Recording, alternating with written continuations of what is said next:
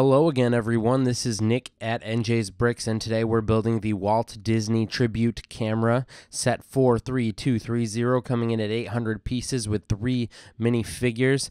This is an interesting looking one. Not sure how I'm going to like building it, but let's jump into it. Like and subscribe below if you enjoyed this content. Remember to stick around after the build to see my review of the set and catch some high res shorts of these minifigures at the end.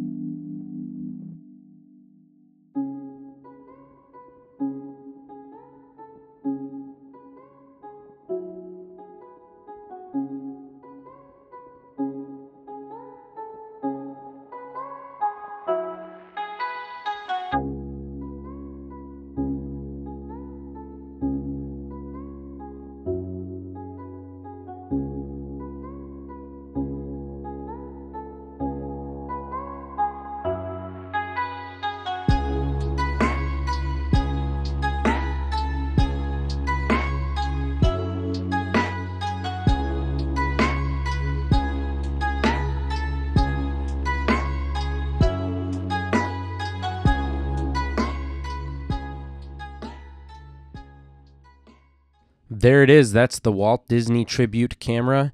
And I'll be honest, I did not love the build on this one. It's a bit lacking. And for something so top heavy, you would have liked to see them build more stability into the base for having it on display. That film reel right there is an absolute showstopper, though. I'll be honest, even though uh, there's a lot of aspects of this build that I don't enjoy and I don't think actually work that well as a Lego set, there are some parts of it that certainly do, and that definitely includes the film strip. And I didn't take a photo here, but you can open the camera up and put Walt Disney inside, which is pretty fun. Here you see all these different famous Disney animated films done up with Lego figures in Lego form in a semi translucent film strip style piece. And I gotta say, it's an absolute showstopper. I am very pleased they made this set, if for no other reason than to give us that part and to give us these minifigures and molded Dumbo and Bambi figures as well.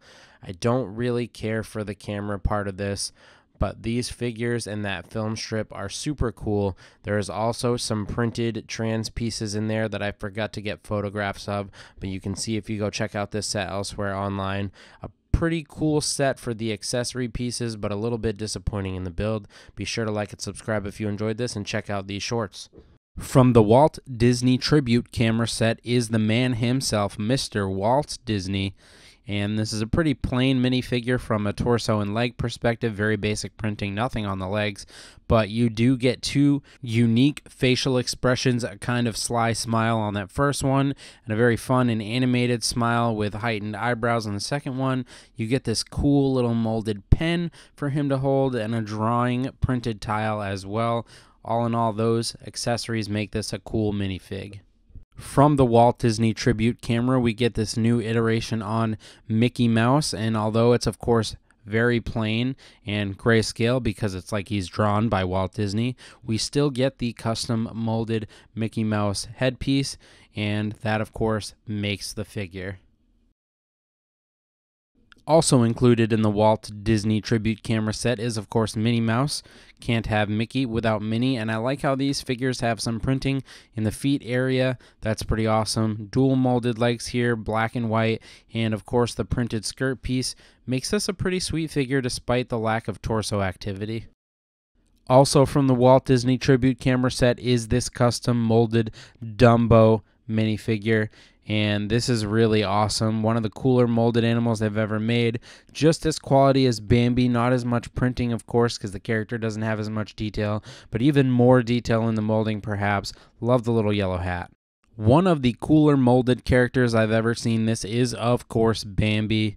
You can find this molded figure in the Walt Disney Tribute camera set, and some beautiful details in the molding and even more so in the printing really make this one of the most impressive animals that LEGO has ever made.